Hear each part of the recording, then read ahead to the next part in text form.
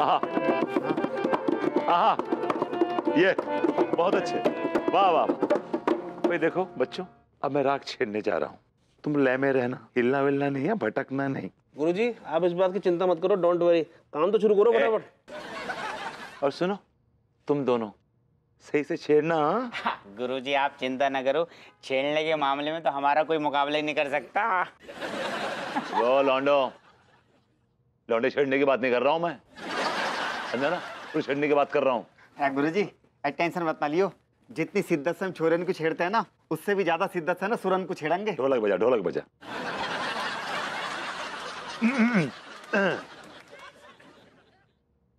हे गुरुजी राग पटाओ गाने जा रहा हूँ। इस राग को सफल बना देना और भाभी जी को पटवा देना। गुरु जी इजाज़त है। दे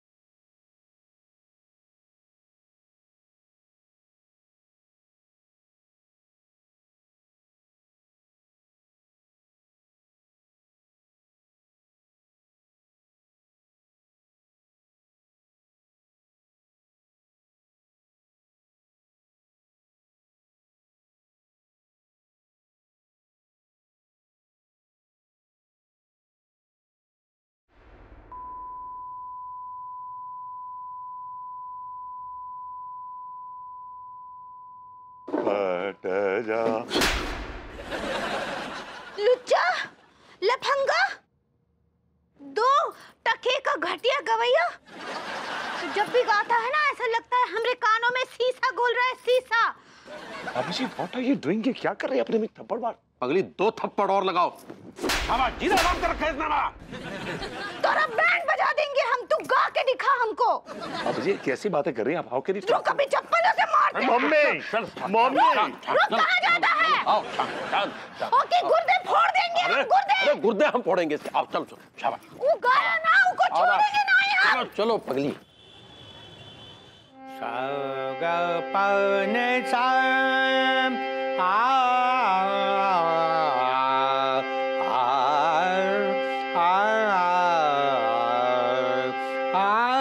गुरुजी गुरुजी। अरे। गुरुजी। गुदगुदी होता है। खसम हो गया गुरुजी खसम अरे माछेर झोल क्यों लो? अरे इतना कष्टों में क्यों दिखता है रे तुम? मैं बहुत कष्ट में हूँ गुरुजी बहुत कष्ट में।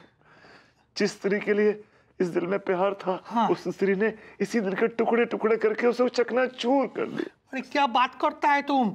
अरे काम करो बिस्तर में बताओ बिस्तर में बताओ। बिस्तर में? हाँ। यहाँ नहीं चलेगा? अरे नहीं माने इधर ही बैठ के बिस्तर में माने डिटेल में बताओ ना। हाँ आपने मुझसे कहा था ना कि राग पटाओ गाने के लिए। हाँ, हाँ। जैसे मैंने राग गाया ना हाँ। उस स्त्री पे उसका विपरीत असर हुआ। अरे क्या बात कर रहा है तुम मैंने वो लड़की तुमसे पाटा नहीं। नहीं गुरुजी नहीं। जैसे मैंने राग गाना शुरू किया उस लड़की मतलब उस औरत ने मुझे बेहिसाब पीटा। बहुत मारा उनका। अरे ऐसा कैसे हो सकता है?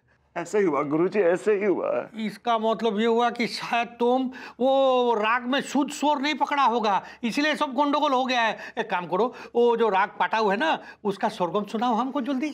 गुरुजी बारह सुरों का राग है। हाँ। उसमें आपने कोमल सा कोमल पा और कोमल धा लगाने को कहा था। हाँ किंतु तीव्र माँ भी तो लगाना होता वो लगाया नहीं क्या? नहीं मैंने तीव्र माँ तो नहीं लगाया अरे इसीलिए तो गोंडोगोल हो गया है। वो जो राग पाटाऊ था ना वो राग भड़काऊ हो गया है। इसीलिए तुमको पकड़ के पीटा है वो। राग भड़काओ हाँ राग भड़काऊ। देखो ये सब सुर का खेल है। एक सुर इधर का उधर हो गया ना तो सुर का भस्म सुर हो जाता है। माने कुछ और माने निकल जाता है उसका। बताइए ना मैं क्या करूँ? उस उस औरत के दिल में मेरे लिए नफरत पैदा हो गई। अरे तुम चिंता मत करो रे बागड़ू। सुनो मैं ऐसा है हमारा गुरुजी कोमल चाटर्जी ने इतना राग बनाया है उसमें से एक राग है राग पोती मनाओ। रागपति मोना हाँ रागपति मनाओ। माने क्या जो औरत शादीशुदा होता है और वो औरत राग पाटाव से नहीं पड़ता है ना उसके लिए क्या है कि उसका पोती को मनाने के लिए राग पोती मनाओ गाना पड़ता है। और वो राग गाते गाते में कितना बार पोती का चौपल भी चाटना पड़ता है। चौपल चाटना पड़ता है? हाँ तो इतना हैरान क्यों हो रहा है? तुम आँख भी निकल गया बाहर। अरे चौपल चाटने को बोल रहा है हाँ। तुमको क्या मालूम एक औरत को पटाने के लिए हम क्या क्या कितना? मैं मैं मैं समझ गया गुरुजी मैं समझ गया मैं समझ गया। और कह दीजिए? अरे गुदगुदी होता है सुनो बाकी सब ठीक है। किंतु तुमको प्रॉमिस तो याद है ना? हाँ गुरुजी। हाँ ये किंतु कौन सा कब कहाँ और कितना ये हम तुमको बताएगा? ठीक है तो हाँ ठीक है। गुदगुदी होता है बहुत। तो, तो सुनो अरे पगली अरे अरे हमारी बात तो सुनो।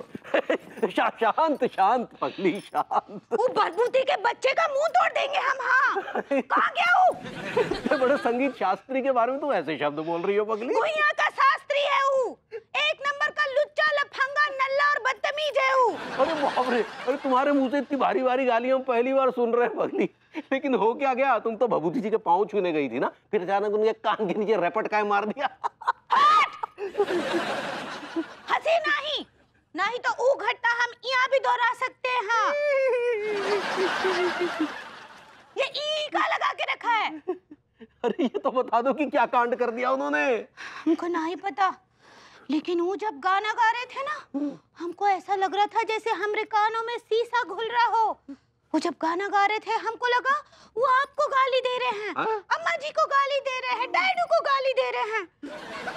उनका गाना सुनते ही ना हमरे अंदर ऐसे ज्वालामुखी फूट रहे थे हमको बहुत तेज गुस्सा आ रहा है। नहीं नहीं, फिर तो तुम्हारा गुस्सा होना बहुत जायज़ है बगली। कीप इट अप देखो बगली ये ऐसे बेढंगे संगीत की ठंड को कम करने के लिए तुम्हारे अंदर की फायर का जलना बहुत ज़रूरी है। कच्चा बनियान। अरे तेरा अरे सुनो पगली सुनो सुनो। सुनो। सुनो पगली।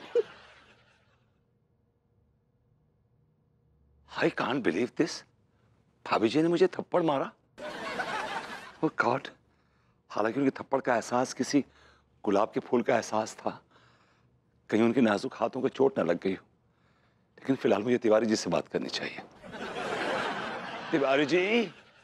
तिवारी जी। क्या क्या? क्या क्या है? तिवारी जी वे नीचे मिलिए। मुझे आपसे कुछ बात करनी है। तो फिर आ गया नल्ले। हम तोरे गुर्दों में पलीता कर देंगे हाँ। अब आप मुझसे नीचे मिलिए। जरा बात करनी मुझे। ए नल्ले। अगर तू फिर आया ना तो तोरे गुर्दे पकड़कर झूला झूलेंगे भाग यहाँ से। तिवारी जी मिलेगा मुझे शाम को। ज़रूरी बात करनी है। ये चप्पल जेंट्स है Tiwari ji. This is your chappal. भागता है कि नहीं? आई गॉट इट बहुत अच्छे पगली शाबाश।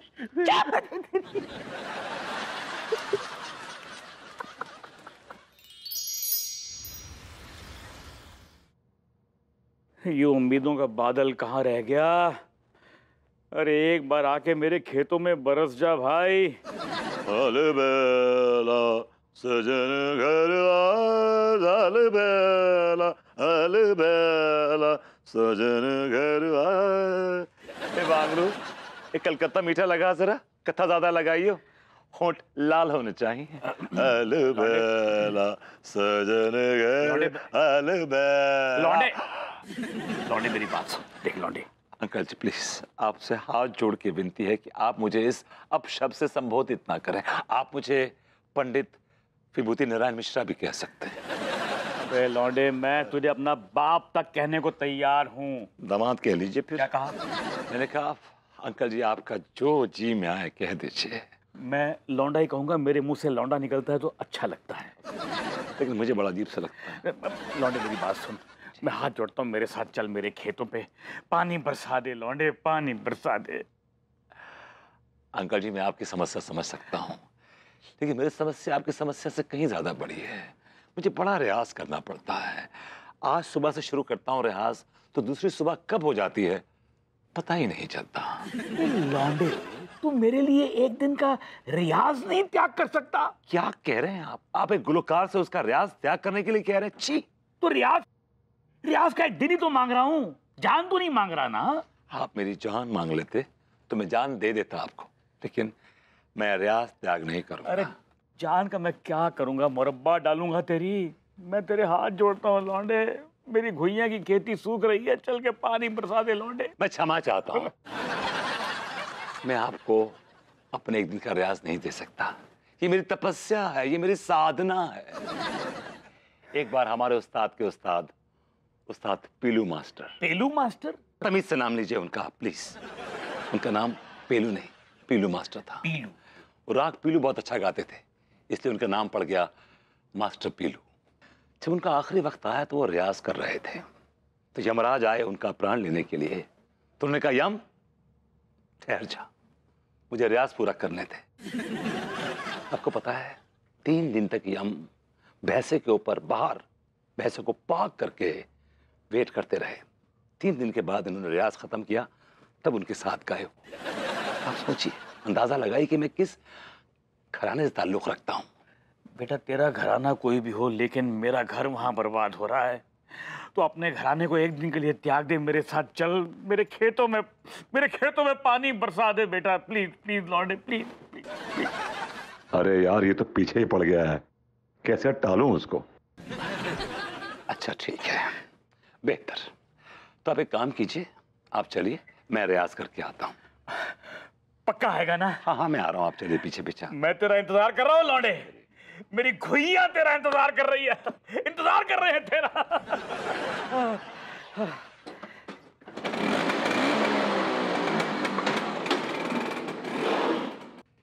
भाभी जी ने भी किस बुड्ढे को मेरे पीछे लगा दिया यार? ये बांगड़ू जरा पान तो खिला।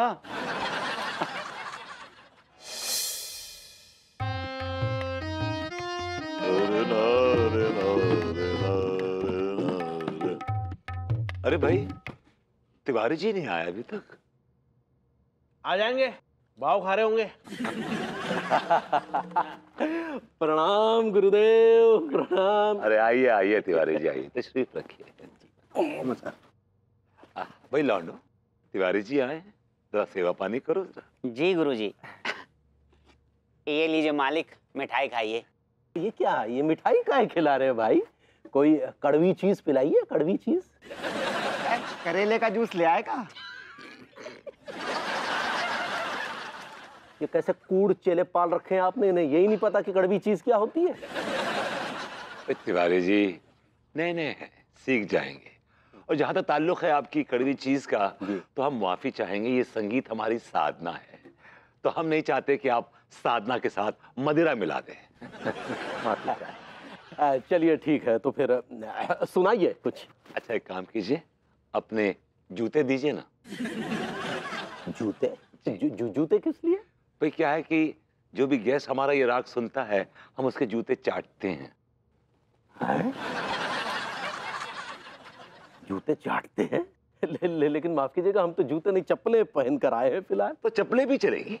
चप्पलें भी चले। हमें तो चाटने से मतलब है। ये राग तो पहली बार सुन रहे हैं जिसमें चप्पलें चाटी जाती हैं। ये हमारे घराने की प्रथा है। एक राग होता है डंडा मार राग।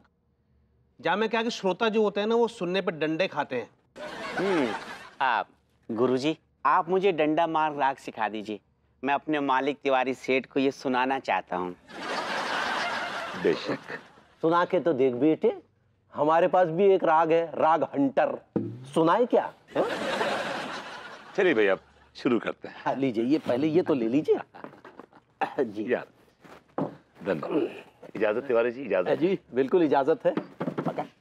चपल चपल जब चलती है चपल चपल चपल जब चलती है चपल। चपल चपल जब चलती है चपल पिछवाड़ पे पिछवाड़ पे पिछवाड़ पे पड़ती है चप्पल चपल चपल जब चलती है चप्पल चपल चपल जब चलती है चप्पल चपल चपल जब चलती है चप्पल चपल चपल जब चलती है चप्पल चपल चाटू रे चप्पल चाटू रे चप्पल चाटू रे चप्पल चाटू रे। वाह। गुरुजी वाह क्या चाटी है चप्पल। वाह। भभूति जी एक काम कीजिए आप हमारे यहाँ भी पधारिए। क्या है कि हमारी अंगूरी संगीत का विशेष शौक रखती है। हम चाहेंगे कि आप हमारे घर आए और हमारे घर की चप्पलें चाट। मतलब ये महफिल सजाएँ। यही तो मैं चाहता हूँ कि आकर देखो तो सही भाभी जी पे इस राग का क्या असर पड़ता है? चप्पल चाटू रे।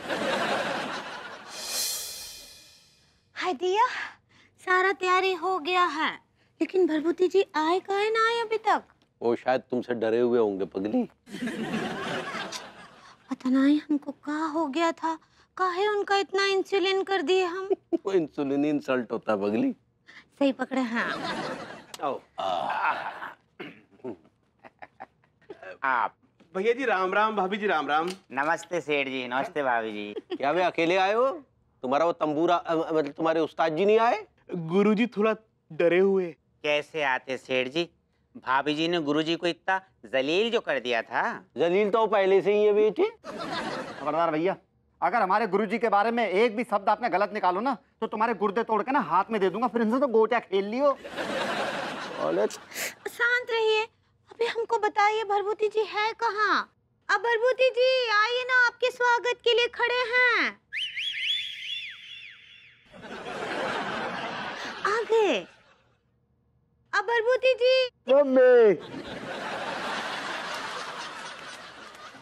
आप डरिए नहीं हम कछु नहीं करेंगे। पिछला तजुर्बा मद्देनजर रखते हुए आपसे तो सोशल डिस्टेंसिंग बनाना ही बेहतर है। माला पहना सकते हैं आपको? आप माला डालिए अगर वरमाला होता और अच्छा है। आप क्या बोले? कुछ नहीं। हाय तिया अब पंडित भरभूति नारायण मिश्रा जी का हमरे घर में स्वागत है। चलिए फिर सब लोग तशरीफ़ रखिए बैठिए स्थान ग्रहण कीजिए। आप लोग बैठिए हम कुछ खाने पीने का लाते हैं। गुरुजी प्रणाम। प्रणाम प्रणाम प्रणाम प्रणाम अबे इसे बेटा धोती भाई खुश रहो। यहाँ रहो वहाँ रहो जहाँ भी रहो। बस सुर में रहो। सुर में क्या खाक रहे गुरु जी हम्म? आपने तो अभी तक सरगम का सा भी नहीं सिखाया। हम्म? अरे मूर्ख सातु तो पहले सीख चुका है। कैसे गुरुजी? हम्म? सेवा करके उस्ताद का सर दबा के। मतलब आपने जैसे पा सिखा दिया? पाका बे? पा का मतलब पैर दबाना गुरुजी। बहुत बहुत विद्वान लड़का है ये। ए, ए गुरुजी एक बात बताओ अगर मैं आपको गोला दबाऊँगा तो मैं गा सीख जाऊँगा? ये बहुत बड़ा मूर्ख लड़का है। आओ आए बैठिए तशरीफ़ रखिए। हाँ हाँ बैठिए बैठिए। अरे यार अरे यार अम्मा इस वक्त फ़ोन का कर रही है। उठा लीजिए ना कुछ ज़रूरी बोल रही होंगी। हाँ अम्मा बोलो। अरे बैल तू है कहाँ अभी? कहाँ होंगे? घर में ही है। अकेला है कि कोई और भी है साथ में? नहीं नहीं सब साथ में अंगूरी है हम हैं वो भभूति जी हैं उनके चेले चपाटे भी साथ ही हैं।